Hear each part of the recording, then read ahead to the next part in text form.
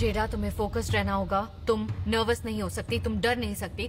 आज तुम्हें इन सब लोगों को पीछे छोड़ना है। इस गेम को जीत कर दिखाना है।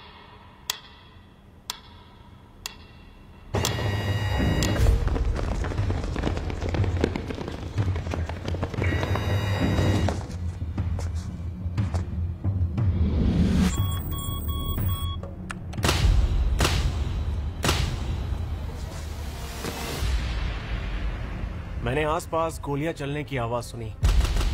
लोग एक एक करके गिर रहे थे। ऐसे में मेरा दिमाग भी शक से भरने लगा था कि मैंने कोई ना कोई गलती तो कर दी है। अगर मैं इस हालत में कुछ कर सकता हूँ तो वो है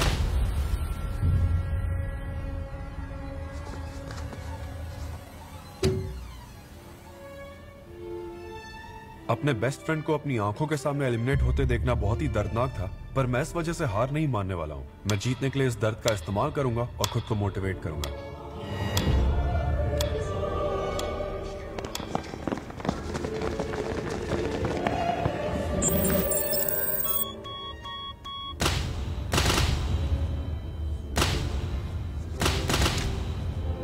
मैं इतनी नर्वस हूँ कि मेरे पसीने छूट रहे हैं, लेकिन इस गेम के खत्म होने तक मुझे खुद पर कंट्रोल करना ही होगा।